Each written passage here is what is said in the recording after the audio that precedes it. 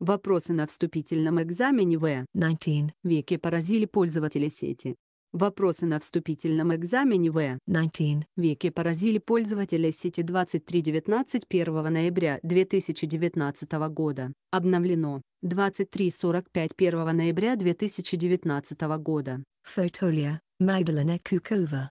Fotolia, Magdalena Kukova. Москва, 1 РИА Новости.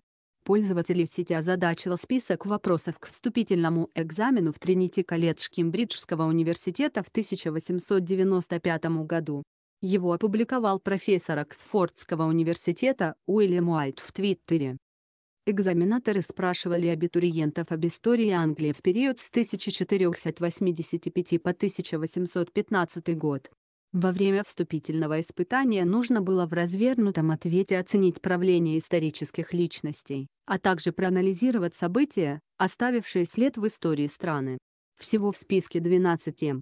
9 сентября, 16 двоеточие 22 РИА Новости найдено решение одной из сложнейших математических задач «Дайте оценку внешней политики короля Генриха» 8, до 1520 года.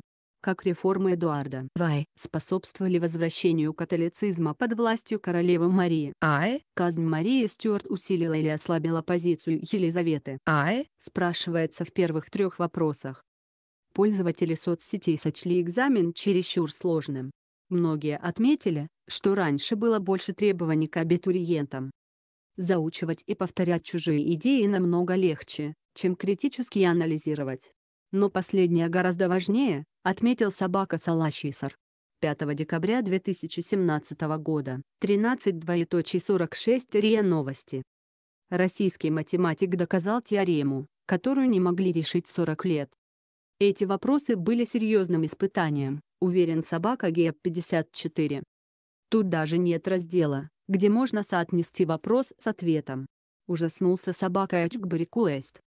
Я сомневаюсь, что кто-то моложе 40 лет сегодня мог бы правильно ответить хотя бы на некоторые вопросы из списка, считает собака Максарятульнить.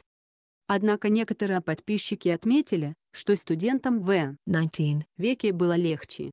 Тогда было намного меньше истории, пошутил собака Уильям подчеркивание Уэти.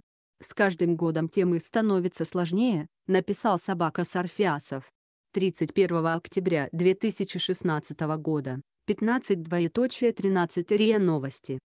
Российские математики объяснили существование окна Авертона. Российские и зарубежные ученые нашли математическое объяснение тому, как меняются убеждения в обществе, и почему люди часто наотрез отказываются верить во что-то, к примеру, в глобальное потепление, несмотря на 100% доказательства его существования.